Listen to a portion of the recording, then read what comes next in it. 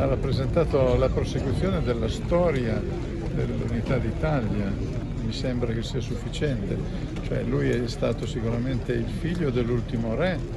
E purtroppo vediamo che le istituzioni italiane non hanno apprezzato molto questo evento qua, nonostante la morte, nonostante la pietà che uno dovrebbe avere verso qualcuno che ha rappresentato comunque l'unità d'Italia, la, la, la storia del nostro paese. Grazie a Vittorio Emanuele io e mio marito ci siamo sposati.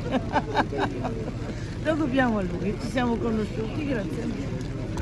È la storia di una casata che ha fatto la storia d'Italia. Grazie a Savoia l'Italia è stata unita e è bene ricordarlo. Vittorio Emanuele era l'erede di una, di una casata storica e così importante. È, è, è, la Casa Reale d'Italia, o lo conosco o non lo conosco ha poca importanza, poca importanza, dobbiamo riconoscere, io sono per la storia, la storia bene o male è sempre la storia. Non è che siamo qui perché conosciamo Emanuele, Emanuele Filiberto, è ovvio che lo conosciamo, ma perché i sentimenti che noi proviamo nei confronti di Casa Savoia è come diceva l'avvocato, hanno fatto l'Italia, che ci siano stati degli errori, ma tutti sbagliano.